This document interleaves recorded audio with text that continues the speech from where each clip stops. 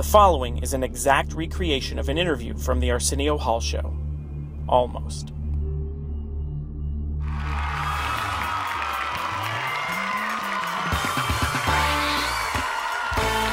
stage 29 at Paramount Studios on Melrose Avenue, in the heart of Hollywood, California, in these United States.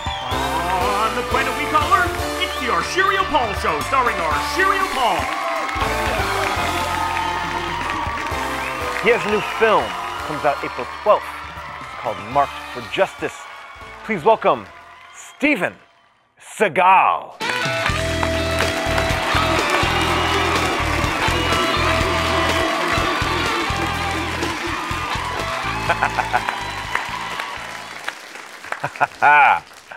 Oh, I was glad to see they responded so positively to you, as I've ever seen people do in public when we were at the premiere, because I've been worried, you know? It's been like, get Steven year or something. Let's start with the GQ article. What'd you think of that? I hated it. Uh, you know, I hated it intensely. Yeah, what, what did you hate mostly about it? Uh, you know, all I can say is uh, this guy, like uh, a five foot two, fat little, uh, you know, male. Whoa.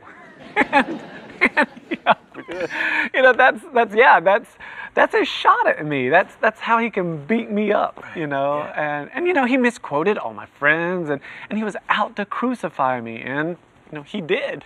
He called the article Black Belt White Lies. Ah, I resent that. Yeah, know? and I, and I know how you are about Kelly, you know, Kelly LeBrock, his wife. Um, and I know how you get about her. Does it bother you even more when she's lied on? Or, or was she lied on? Because, well, first of all, there's something, and they described something in the relationship to Kelly and the, and the baby being there. Yeah, I mean, I mean, I ask you all, would a man refer to a baby crying as a baby squalling with the smell of shitty diapers? You know, is that uh, a man to you? you understand? Uh, what kind of person is that? You know, everybody who reads that, just think about who's writing. You know? Yeah, and they also um, mentioned something about Kelly's first date with you, saying, um, I guess he quoted her as saying you were like an alien. You know, which I can understand because you're acting like an alien right now. You know, no, but no, no, I'm just, I'm just joking. I'm just joking. Now, you know, you wouldn't even let Kelly travel in the rain the other night to the premiere. I mean, you are so in love and protective. You're such a wuss.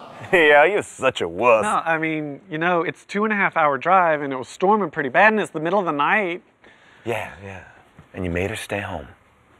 My house, my rules. How's your neighbor? He's doing good. Michael Jackson. He lives next door to Michael Jackson. Let me ask you something. When you jump the fence, you know, jump over the fence in the next yard and you, you say hello to Bubbles or Michael, is there a lot of animals and stuff next door? I mean, we all have a lot of animals up there. That, that's why we go up there, so we can, you know, sort of be with nature and ride horses and all that stuff. Yeah, yeah, but do you ever, you know, look out your window and you see like, you know, Michael in the yard, you know? No. I have a lot of acreage, and so does he. Steven Seagal.